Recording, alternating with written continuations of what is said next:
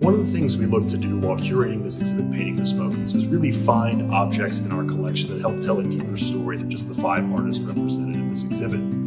You can see this through the choice of the object behind me here, a cabinet made by the master carpenter and cabinet maker Lewis Buckner. Now this piece is normally on display in our permanent collection, but if you look at it, it really shows you an example of the work of Buckner at the time, who was well enslaved at birth, later worked in Sevierville, and would have used a lot of natural resources close to it in the Smokies. Now if you look at the detail at the top, you can see where eggplants were carved, and just really how impressive this piece was, and how it shows not only an example of a diverse but pre-existing craft industry in that area well before the early 20th century.